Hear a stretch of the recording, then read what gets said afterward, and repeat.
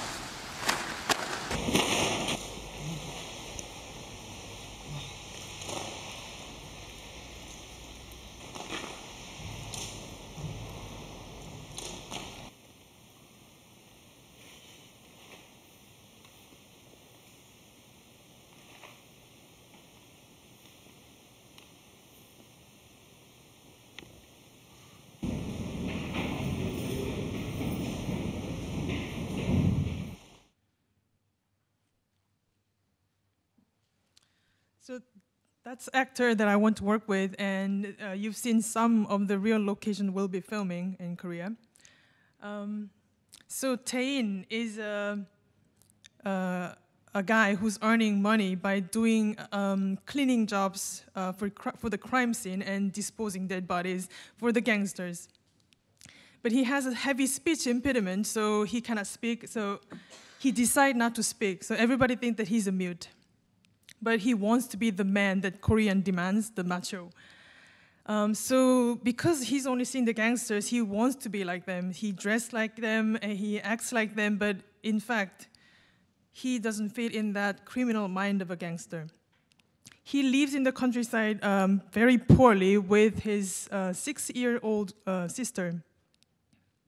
When Cho-hee, the kidnapped girl, is delivered to his place, she's surprised that he's living very poorly.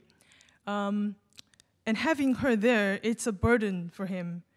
For example, he has to take her to her working place where he's busy cleaning blood, uh, washing dead bodies and burying them. There's always a little girl following her.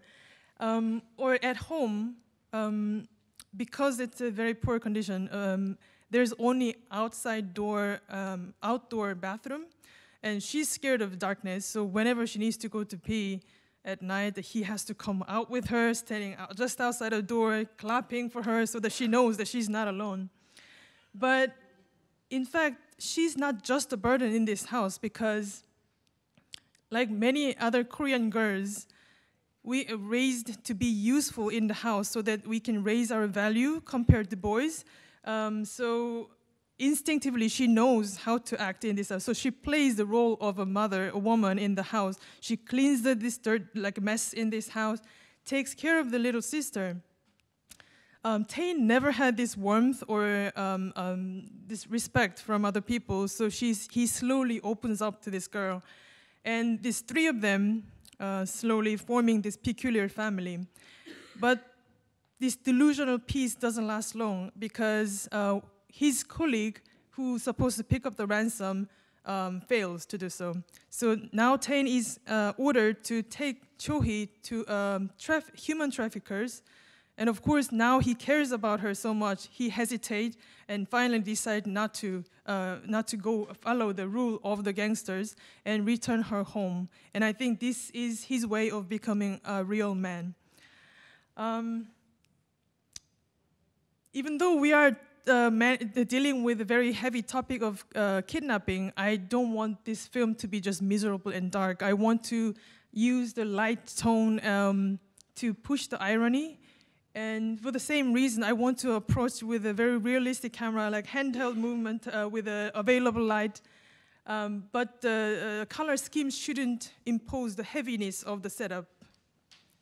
Thank you.